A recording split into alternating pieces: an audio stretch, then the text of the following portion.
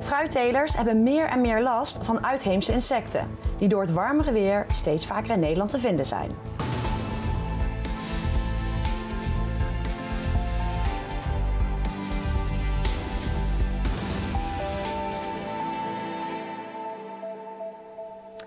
De lente lijkt steeds eerder te beginnen door klimaatverandering. Planten en bomen staan al een maand eerder in bloei dan 50 jaar geleden. De temperatuur ligt gemiddeld hoger en hierdoor krijgen niet-inheemse insecten de kans om in Nederland te overleven. Dit zie je niet alleen terug in de natuur, maar ook in de landbouw. Bijvoorbeeld bij fruittelers. Ja, het klimaatverandering, eh, de lentes worden warmer, eerder warm. Je ziet nu de knoppen al, eh, de knopjes zie je al schuiven. Dus dat geeft wat meer risico op nachtvorsten, eh, waar we meer nachtvorsten hebben, zeg maar. En we zien wel veranderingen in de insectenpopulaties. Nou, sommige insecten die konden hier helemaal niet voorkomen. Het was bijvoorbeeld te koud in de winter.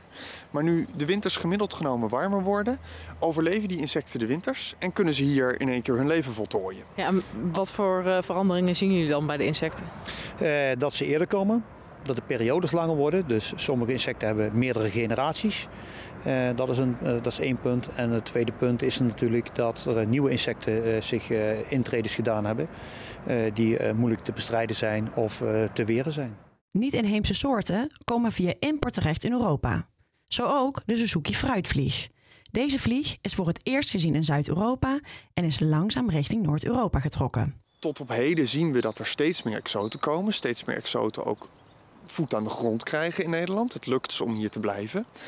En daarmee zullen de problemen alleen maar groter worden, ben ik bang. Zo'n Aziatische fruitvlieg die echt 90% van de appeloogst in één keer kan decimeren. Dat is eh, afgrijzelijk natuurlijk als jij een fruitteler bent. Ja, dat zijn de soorten, die moeten we gewoon echt, daar moeten we voor oppassen.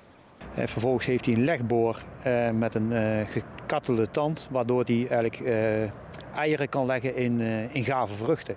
En een gewone fruitvlieg die legt alleen eitjes op kapotte vruchten. En kapotte vruchten zijn voor ons niet meer, hebben geen waarde, maar dit heeft wel waarde en dit kan zich explosief vermeerderen naar meerdere eieren per vrucht. En die vruchten zijn niet houdbaar en die zijn dus niet consumptiegeschikt ja, die kan echt wel plagen vormen en gewoon het fruit echt aantasten. En de hoeveelheid uh, bijvoorbeeld appels of peren die vormen, ja, dat worden dan gewoon minder. En dat is heel vervelend voor de fruitboeren natuurlijk. Het bestrijden van deze soort is moeilijk, doordat er beperkingen zitten op chemische bestrijding. Een natuurlijke vijand is op dit moment ook niet de oplossing. Eh, de natuurlijke vijanden zijn er in Europa nog niet. Eh, die mogen nog niet komen. Eh, want we heeft dat weer van impact op de biodiversiteit op andere insecten. Dat wordt onderzocht, zeg maar. Maar zover is het allemaal nog niet. Dus de natuur komt wel weer een keer in evenwicht. Alleen in die periode moeten we ja, ons fruit nog telen. Dus dat is aanpassen en, en opletten als we toewerken naar gezonde ecosystemen, waar natuurlijke vijanden van deze plaagdieren weer een plek krijgen, dan zou het ook zomaar eens kunnen dat onze natuur het probleem eigenlijk zelf op gaat lossen. Maar dan moeten we de natuur wel de kans daartoe gaan geven. Vandaag konden mensen bij Brasserie de Rosmolen in Beneden Leeuwen binnenlopen voor een koffie met een kop. Hier zat een wijkagent klaar voor mensen die vragen hadden of iets kwijt wilden aan de politie. Het concept is koffie met een kop. Uh, dat houdt in dat um, eigenlijk je als wijkagent ergens in de wijk gaat uh, zitten op een uh, openbaar toegankelijke locatie. En dat mensen kunnen aanschuiven, dat ze van ons een kopje koffie krijgen en dat ze bij ons terecht kunnen met vragen, problemen die ze willen bespreken. Um, of ze even een goed gesprek willen of wat dan ook. De politiebureaus verdwijnen steeds meer uit de dorpen. Met dit concept probeert de politie weer dichter bij de burger te komen.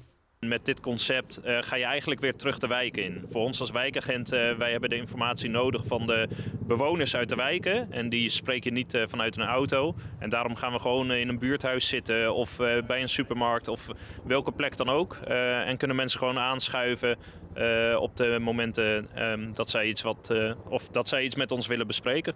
Ondanks dat het vandaag nog niet zo druk was, is de politie wel hoopvol over de toekomst. Ook op social media wordt daar eh, best wel veel op gereageerd. Um, ja, en het is iets wat moet groeien. Dit is de eerste keer dat we het uh, nu testen. Uh, en iedere persoon die aanschuift, dat is mooi meegenomen, want die zouden we normaal niet spreken. dus ja, voor ons is het al heel snel waardevol. Mensen vinden al heel snel het een drempel om ons te bellen of te benaderen via social media of een politiebureau binnen te lopen. En op deze manier haal je eigenlijk die drempel weg. Want je nodigt mensen echt uit van joh, kom uh, bij mij langs uh, om een kopje koffie te drinken. Uh, Dus ja, dat, allemaal verschillende onderwerpen. De gemeente Bergendal heeft op verzoek van de gemeenteraad onderzocht of een fietsroute ten noorden van Leut mogelijk is. De raad wil dat de veiligheid van fietsers door Leut verbetert. Uit het onderzoek blijkt een noordelijke route niet mogelijk. Voor de aanleg van een vrijliggend fietspad langs de noordkant van Leut was grondaankoop van particuliere eigenaren nodig. De gemeente is niet tot overeenstemming gekomen met die eigenaren. De gemeente gaat nu de mogelijkheden van een fietspad aan de zuidkant van Leut onderzoeken, in combinatie met een autoluw maken van Zeelandse straat en Plezenburgse straat. Het college informeert de gemeenteraad 14 maart over het onderzoek en de vervolgstappen in haar vergadering. Het Veefonds en de Nijmeegse Lindenberg doen een oproep tot het organiseren van zoveel mogelijk vrijheidsmaaltijden op bevrijdingsdag. Het Veefonds ondersteunt het financieel in de hoop zoveel mogelijk deelnemers te werven. Het Veefonds doet een oproep aan buurtverenigingen, sportclubs, personeelsverenigingen en andere communities om een vrijheidsmaaltijd op te zetten. De enige voorwaarde is dat je een stichting of vereniging bent, ingeschreven bij de Kamer van Koophandel. Je hebt de mogelijkheid om een basisbijdrage aan te vragen van 350 euro voor minimaal 25 personen of een plusbijdrage van 1000 euro voor minimaal 50 personen. Al 12 jaar is Hubert Bruls werkzaam als burgemeester van Nijmegen. Genoeg ervaring, zou je zeggen.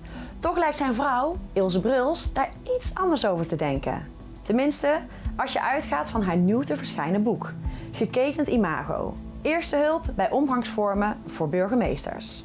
Het boek helpt burgemeesters en andere politieke ambtsdragers om in elke situatie de juiste toon aan te slaan. Het boek wordt volgende week vrijdag op 1 maart gepresenteerd in boekwinkel Dekker van de Vecht in Nijmegen. Woensdagavond vindt in Nijmegen weer de brandgrenswandeling plaats.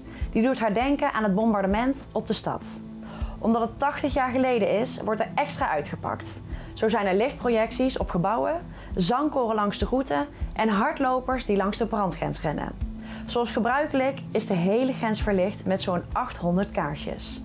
Vooraf kunnen bezoekers in de Molenstraatkerk een eigen lichtje ophalen. Meer informatie is te vinden op onze website.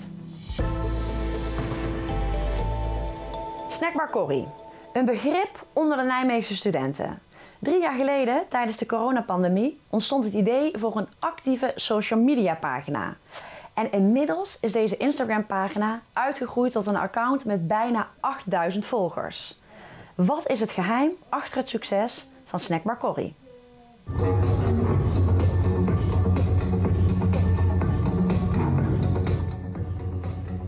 3D is met zijn snackbar Corrie een waar fenomeen op Instagram.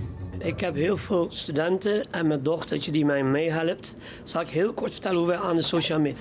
Ik heb nergens Facebook, geen internet, uh, websites enzovoort. Het was coronatijd, omdat nog niet alles duidelijk was. Zijn jullie open, bezorgen, afhalen, meter afstand, dit was. De neef van Ruud Gullit, de naam zou ik niet noemen, de, nou Milan Gullit dus. Hij heeft gezegd, Corrie, kan je geen site vinden, ben je open, ben je dicht. Toen zijn wij, dankzij mede hem, zijn we begonnen met Instagram en dat is nu drie, drieënhalf jaar terug. Dus, uh, en mijn dochter helpt me soms wel eens. En klanten zetten zelf zich. Ik maak veel foto's of ik bedenk iets en dan zetten we het gewoon op. Ik weet dat ik verschut sta, maar mag ik zet. Uh, inspiratie of het nieuws op de dag, de dag wat de nieuws of iets. Gewoon weet ik niet. Ik kijk, nee, zomaar.